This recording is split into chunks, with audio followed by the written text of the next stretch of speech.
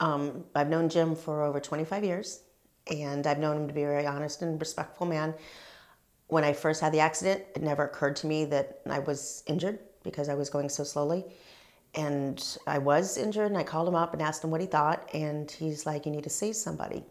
And um, he just guided me, you know, since this wasn't working, we went to the chiropractor, and then we did the acupuncture, and we did the massages, and we did um, physical therapy. We did um, everything. I, I, can't think of anything we didn't do. I mean, short. I mean, I actually had needles in my face. So um, we just decided the surgery was the, the end result, and he was really um, impressed with who I picked as doctors. He did not put doctors in front of me.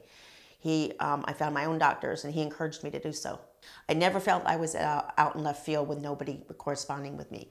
I always felt I had daily contact, sometimes with Judi, um, sometimes hourly contact, and I had her personal cell phone number, and uh, Jim's personal cell phone number. So I, I knew that I was not left by myself to fend for what I needed. I've dealt with other attorneys for other issues and have never received such personal um, assistance. I really felt um, they were in my court the entire time.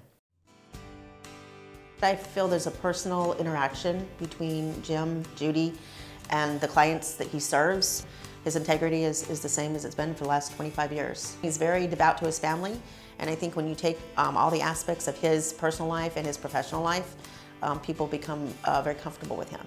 They know he's going to do the best for them that he would for his family.